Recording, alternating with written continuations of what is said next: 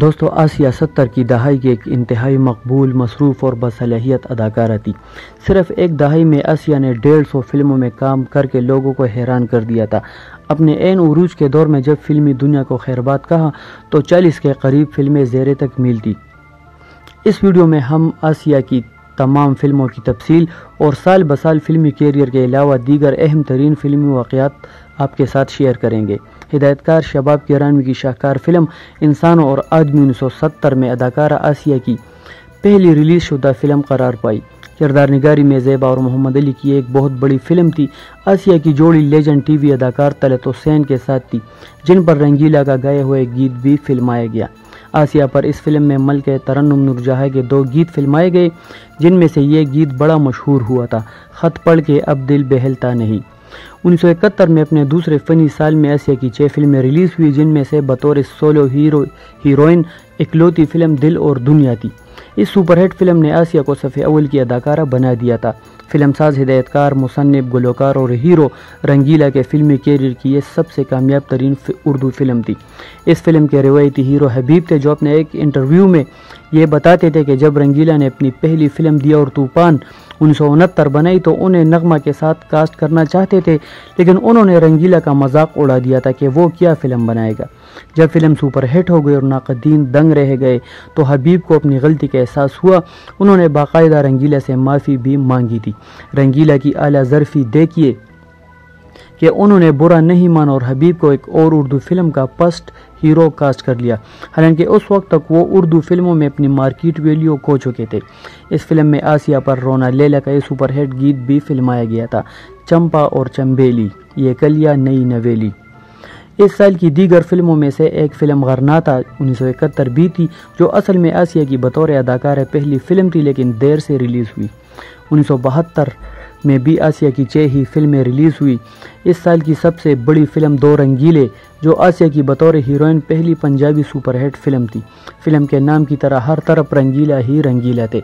जो फ़िल्म के टाइटल के अलावा हीरो और विलन भी थे। फ़िल्म साज हिदायतकार और मुतद गीतों के गुलकार और मौसीकार भी थे इस फ़िल्म में आसिया पर एक इकलौता गीत फिल्माया गया था। रोनालेला का गए हुआ गीत फ़िल्म की रिलीज़ के कई हफ़्ते बाद फ़िल्म में शामिल किया गया। इस प्लेटिनियम जुबली फ़िल्म का सबसे मकबूल गीत था सजना ए मेपिल। इस साल की फ़िल्म में अकेला उन्नीस सौ बहत्तर में आसिया और शाहिद पर नसीम बेगम और मसूद राना का पहला दो गाना फिल्माया गया था, कहता है प्यार, मेरी जान निसार। उन्नीस तक आसिया एक मसरूफ़ तरीन अदाकारा बन चुकी थी, सेवा दर्जन फ़िल्मों में से बेशतर पंजाबी फ़िल्में थी। सबसे कामयाब फ़िल्म जरा ब्लेड थी, जिसमें आसिया की जोड़ी तंजीम हसन के साथ थी, लेकिन टाइटल रोल मनोवर जरीब का था। फ़िल्म बेईमान उन्नीस में दिल को जलाए मेरा सोना माही। और फ़िल्म गुलाम उन्नीस में वक्त गुजर, गुजरा जाए, जाके मोड़ न आए। जैसे मेडियम नूर, मैडम नूरजहां के गाए हुए मशहूर गीत भी आसिया पर फिल्माए गए। उर्दू फ़िल्म मस्ताना में मजाही अदाकार खलीफा नज़ीर पहली और आखिरी बार हीरो आए थे और उनकी हीरोइन आसिया थी। फ़िल्म चार खून दे प्यासे उन्नीस सौ तिहत्तर में आसिया ने यंग टू ओल्ड रोल किया था। उन्नीस चौहत्तर का साल आसिया के इंतहाई उरूज का साल था जब एक कैलेंडर ईयर में उसकी दो दर्जन के करीब फ़िल्में रिलीज़ हुई। साल की सबसे बड़ी फ़िल्म नौकर वोटिदा थी, जो मनोवर जरीफ की बतौर हीरो कामयाब तरीन फ़िल्म थी। आसिया पर मैडम नूरजहाँ का गीत फिल्माया गया था। फ़िल्म सस्ता खून, महँगा पानी सौ चौहत्तर में शायद पर फिल्माया हुआ मसूद राना का यह मशहूर गीत, जा चढ़ जा डोलिनी भी आसिया ही के लिए गाया गया था। इस साल की फ़िल्म हाशू खान में आसिया की जोड़ी अदाकार फाजिल भट्ट के साथ थी, जो एक सी क्लास फ़िल्म थे, लेकिन लाहौर के एक वकील थे और उस फ़िल्म के फ़िल्म साज भी थे। फ़िल्म यार मस्तान उन्नीस सौ चौहत्तर में मैडम नूरजहाँ का ये सुपरहिट गीत भी आसिया पर फिल्माया गया। तू इकरार मेरा प्यार। इस साल की फ़िल्म तुम सलामत रहो, उन्नीस सौ चौहत्तर। आसिया की हीरोइन के तौर पर कामयाब तरीन उर्दू फ़िल्म थी। इस फ़िल्म में बी मैडम नूरजहाँ का ये सुपरहिट गीत, मोहब्बत ज़िंदगी है और तुम मेरी मोहब्बत हो, फिल्माया गया। इस फ़िल्म की खास बात यह थी कि उर्दू फ़िल्मों के दोनों सुपरस्टार मोहम्मद अली और वहीद मुराद की अरसा आठ साल बाद ये पहली मुश्तरका फ़िल्म थी। ये वो दौर था जब उर्दू फ़िल्मों में नदीम और शाहिद जैसे मिनी स्टार्स का दूर दौर शुरू हो चुका था और उनके मुकाबले में वक्त के दोनों सुपरस्टार को फ़िल्म साज एक साथ कास्ट करने पर मजबूर थे। आसिया ने बतौर फ़िल्म साज अपनी इकलौती फ़िल्म प्यार ही प्यार उन्नीस सौ चौहत्तर बनाई, जो नाकाम रही। आसिया के साथ वहीद मुराद हीरो थे, जिनका उस वक्त जवाल शुरू हो चुका था। और सोलो हीरो के तौर पर उनकी ज़्यादातर फ़िल्में नाकाम रही थी। निसार बज़मी की धुन में मुमताज़ गज़ल गुलकार उस्ताद अमानत अली ख़ान का ये गीत बड़ा मशहूर हुआ बिन तेरे यार मोरा जिया न लागे अपने पूरे फिल्मी कैरियर में उस्ताद अमानत अली ख़ान की बतौर गुलकार ये छठी और आखिरी फ़िल्म थी और जितना बड़ा नाम थे फ़िल्मों में वैसी कामयाबी से महरूम रहे उन्नीस सौ पचहत्तर में भी आसिया की 20 से ज़्यादा फ़िल्में सिनेमाओं की जीनत बनी जिनमें से कोई एक उर्दू फ़िल्म नहीं थी सबसे कामयाब फ़िल्म वही जट उन्नीस थी, जिसने पंजाबी फ़िल्मों का ट्रेंड ही बदल दिया।